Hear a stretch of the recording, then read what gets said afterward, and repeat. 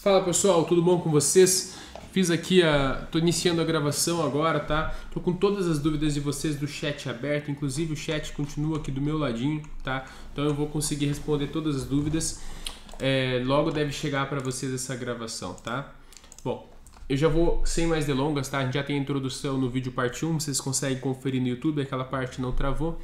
A gente vai, vai falar agora a respeito da, das ações solicitadas por vocês, tá? Para que vocês entendam o mercado, beleza? Eu vou comentar aqui, pessoal, é, a respeito dos ativos, de todos os ativos que vocês solicitarem, menos do mercado americano, tá? Eu vou inclusive tirar aqui o mercado americano, depois eu vou comentar na live de mercado americano sobre as Kikiki também. É, depois eu vou fazer outro vídeo, tá? Que vai ser o nosso vídeo de mercado americano mesmo. Bom, boa noite Gisele Sampaio. É, o Adriano ele comenta boa noite. Poderia analisar Magalu e o índice BDRX no mensal, tá? BDRX, deixa eu ver se eu tenho ele aqui. Uhum. No gráfico mensal, tá?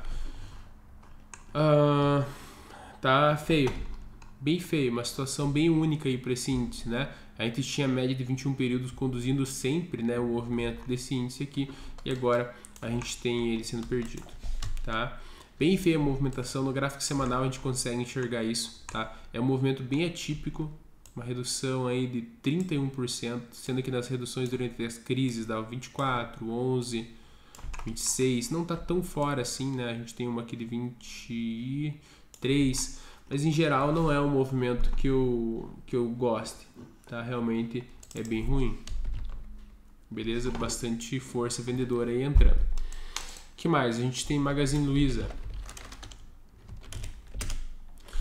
Magazine Luiza não dando muitas chances pra gente, né? A gente pode buscar por vendas até mesmo no gráfico diário, agora recarregou já, mas de qualquer forma, ela ainda não dá muitas possibilidades de venda, né? Eu tenho a expectativa que agora ela venha fazer um repique para 9, para 21 períodos e depois a gente consegue aí captar movimentos de venda muito mais interessantes em Magalu, tá?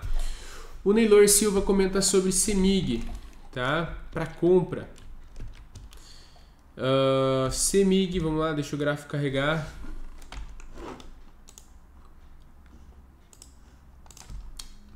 Vou fazer o seguinte.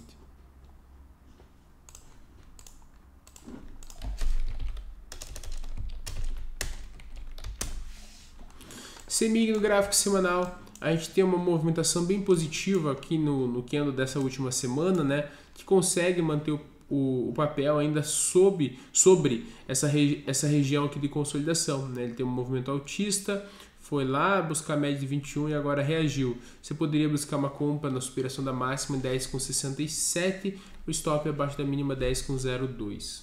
Tá? O que mais que a gente tem lá? Deixa eu ver se está gravando tudo certinho. Uhum. que mais? Boa noite, sempre ótimos vídeos. Valeu, Jusemar. Deixa eu ver aqui. Boa noite, Ana Maria. Pessoal confirmando a áudio tela. Pessoal, provavelmente um pouco das dúvidas de vocês tá, foram cortadas quando eu encerrei a live. Mas eu tenho ainda algumas, várias delas salvo, tá? Várias delas salvo. Não se preocupem que ele vai dar pra gente comentar. Pessoal dando boa noite, falando que tá tudo certo. O Pedro Gustavo fala boa noite. Tube 3 pode entrar em tendência de alta depois das, da, das altas seguidas? YouTube 3 pode entrar em tendência de alta? Pode, tá? Pode entrar em tendência de alta. Ainda, ainda Itaú, quando a gente olha, né, a gente vê o fundo dele no canto esquerdo do gráfico, ó, e, a, e, a, região atual até que no canto é, inferior esquerdo estava o fundo aqui, né? E a região atual no canto superior direito. Não está tão ruim assim o papel, né? Você olha em escala maior, você consegue enxergar em tendência de alta. Mas num prazo um pouco mais curto, que a gente chama de tendência secundária ou até mesmo terciária, a gente tem movimentos de recuos grandes de Itaú com reteste de regiões de fundo, que é muito arriscado. Então o que, que você pode fazer? Você não precisa sair querendo comprar agora. Você espera a média de 9 períodos e a de 21 períodos apontarem para cima e busca por compras lá daí tá? Quando elas quando mostrar realmente força no papel. Tá bom? Deixa eu colocar aqui, ó. Fica melhor. E sempre que você pensar em pegar um ativo, tente pegar o mais líquido. Itaú 4 eu acho que é um pouquinho mais líquido que Itaú 3. É, um pouquinho muito, né? A gente tem um movimento dessa semana de Itaú 4 de 5 bilhões e 400 milhões e já Itaú 3 com 66 milhões. Né? Então é uma diferença bem razoável. Itaú 4 é mais, muito mais interessante. Tá? que mais? Walter, boa noite. CSMG, venda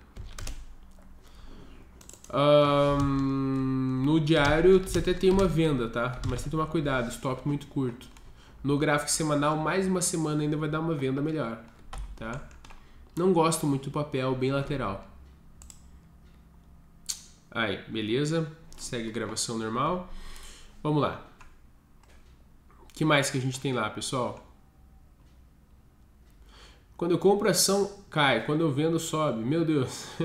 Normal, mas seria ao, ao, longo do tempo você vai entender como você consegue participar dessa dinâmica, tá? É, veja, nem a, a, gente também foi estopado durante esse processo, tá? Mas esses stops não foram tão relevantes quanto foi a relevância dos ativos que foram para o gain. E a ideia é justamente essa. Ah, ative, acertei a tendência, né? A primeira coisa que você tem que fazer é isso. A tendência é do que? De alto, de baixo? De baixo, beleza. Então acertei a tendência. Agora eu vou procurar os melhores ativos para operar nessa tendência. Operando os melhores ativos pra, que estão dentro dessa tendência, tá?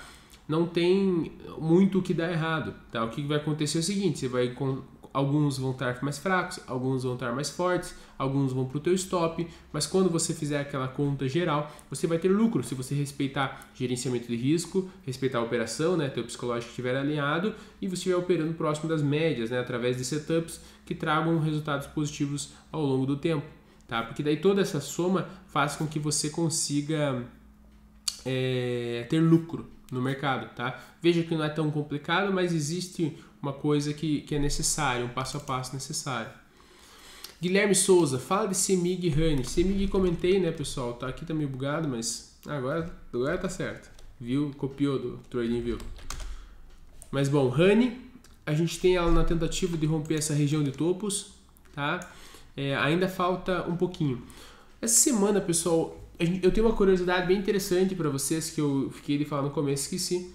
Mas essa semana a gente, durante um processo baixista, a gente teve mais setups, muito mais setups de compra do que de venda no gráfico semanal. O que me alertou um pouquinho, né? Porque geralmente isso acontece quando o mercado está bem esticado, né? Ou seja, o mercado está bem esticado, os setups de venda não acontecem, né? não, não trazem a possibilidade de venda ainda no semanal, porque o semanal estava muito esticado, ele não foi suficiente para repicar. É, e ao mesmo tempo a gente tem algumas compras, né? ou seja, papéis que não estavam tão fracos começam a sinalizar força para que vocês possam participar deles. Não necessariamente é, é o melhor caso, mas existe essa possibilidade.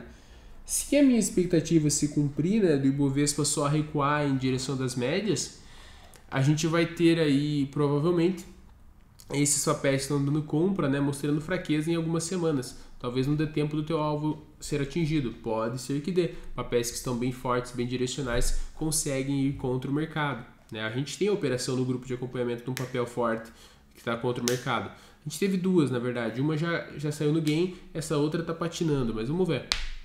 Tá bom? O Joba ele comenta sobre quatro ativos do mercado americano, a gente vai falar sobre eles, tá, Joba? Pode deixar, eu vou falar na outra live. Já deixei salvo o teu comentário. O Guilherme Souza fala: Semin está triste. Semin está triste. Semin está fantástica, na verdade, né? No meu ponto de vista.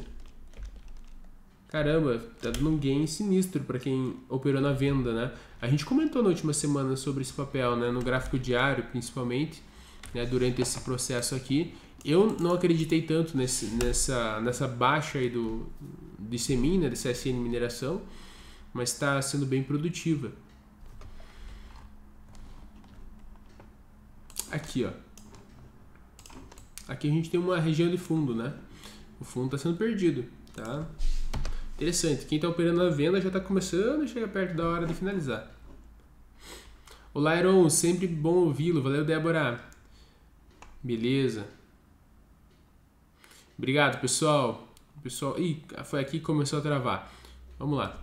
Thiago, o Thiago Oliveira, durante aí a, a, os travamentos que aconteceram na live, na, na live, né, ele comentou Ele pediu para comentar sobre Simpar. Tá? Simpar é outro papel que está fazendo um processo de consolidação, tá? Não fiquem chateados que tem papel consolidando, pessoal. Lembra que eu comentei na introdução dessa live, né? A gente tem um mercado agora um pouquinho mais complicado, mercado é, no gráfico diário desalinhado com o gráfico semanal, né? Retorno das médias gráfico diário já foi suficiente, no semanal está afastado. Então a gente precisa ainda que o mercado comece a se alinhar um pouquinho melhor para que a gente possa buscar por vendas melhores, tanto no semanal quanto no diário, tá bom?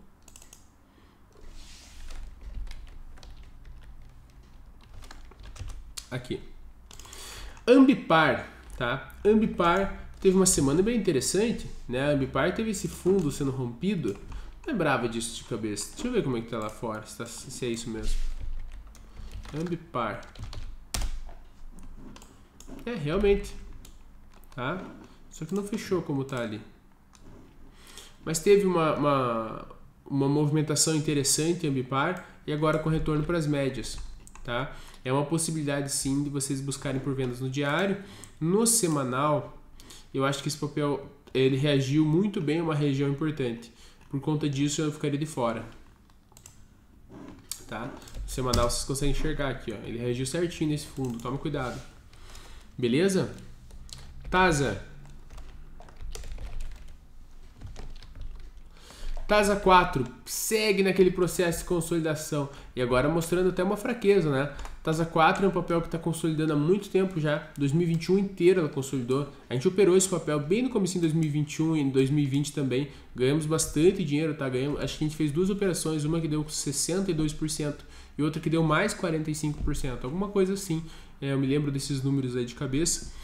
É, mas eu considero que eu, eu considerei essas operações bem interessantes, né? Foi uma sequência que a gente pegou, né, pessoal? Uma movimentação do mercado fortíssima, né, com as médias todas apontadas para cima absurdamente.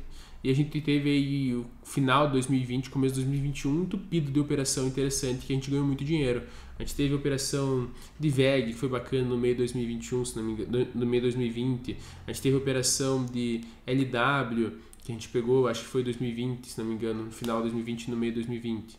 A gente teve a operação é, de positivo, que foi extremamente forte, a gente, que foi muito forte, acho que 100%, 100% 90, 92%, não lembro bem. A gente teve a operação de, de FESA, que deu 50%, o NIP6, que foram duas NIP6, que deu 50%. Então, assim, pessoal, mercado direcional, aproveitem.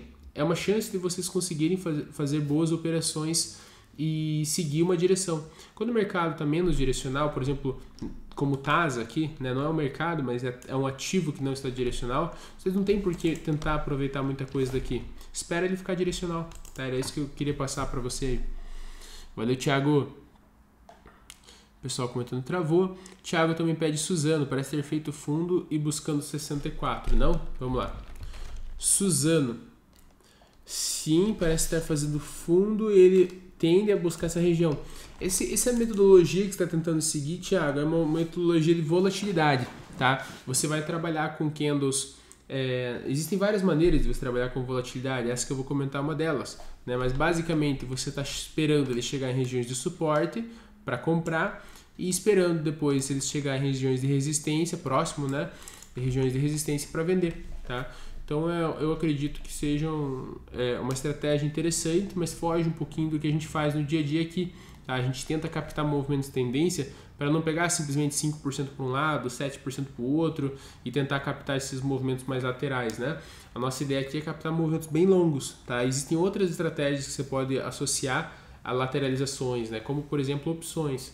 Vencimento de opções, se você for bem a fundo, você consegue trabalhar aí com, com papéis bem laterais, é muito útil, tá bom? É uma forma de associar aí, é, o conhecimento que a gente passa para vocês junto a outras técnicas, tá bom? Pessoal tirando sarro da minha internet falando que é da Oi, falando que tá repicando igual a Ibovespa. É, tô marcando o nome de vocês. É, não pensem que não. Brincadeira. Obrigado, pessoal. Obrigado por aguardar. É uma pena que não deu certo, tá? Bom, o estresse que o Paulo, que o Paulo César comentou. O estresse, reação aqui no diário, alguma coisa? Não.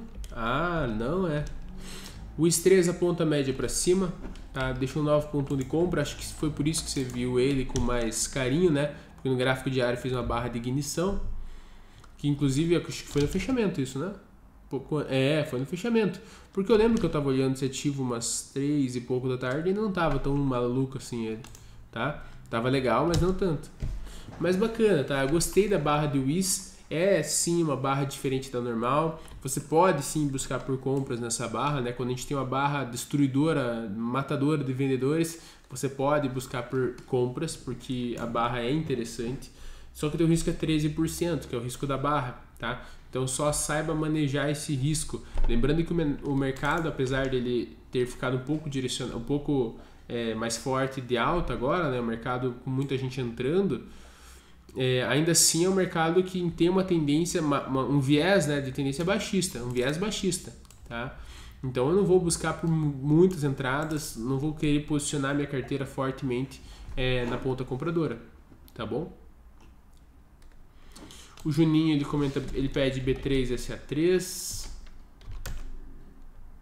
tá? Uh, Juninho, ele per, B3 SA3 perdeu essa região de fundo, tá? Tá esticando um pouquinho agora, mas ainda não deixa nada pra gente. Segue buscando por vendas, tá? O gráfico diário está apontando várias vendas, tá bom? Lembra só que ele está chegando no fundo aqui, ele pode reagir.